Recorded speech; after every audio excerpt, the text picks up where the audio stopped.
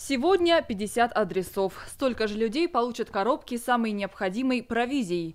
Четыре машины волонтеров Совета отцов развезут помощь не в первый раз. 25 человек почти два месяца помогали жителям Левобережья. И желающих творить добро с каждым днем становилось все больше. Мне хотелось э, помочь людям, и пришла, и чтобы меня взяли волонтерами, и я стала волонтером. Сейчас что делаете? Сейчас я развожу продукты, э, кто нуждается.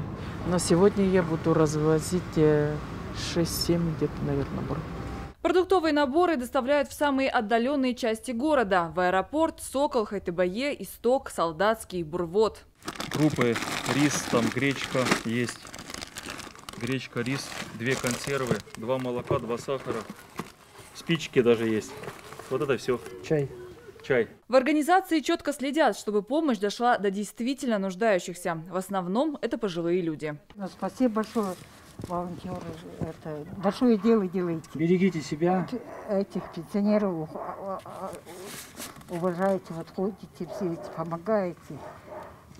Ну, я очень рада. Многим, как и прежде, все еще приходится изолироваться. Я не хожу по в- Дома хожу, вот это, в территории ограда, все.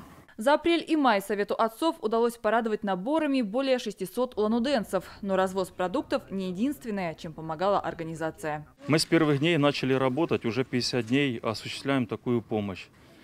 Начали шить маски, 1600 масок пошили, 1400 раздали. Больше 600 продуктовых наборов раздали также. С аэропорта Сокола возили э, медработников и больше 40 человек увезли на работу за этот период.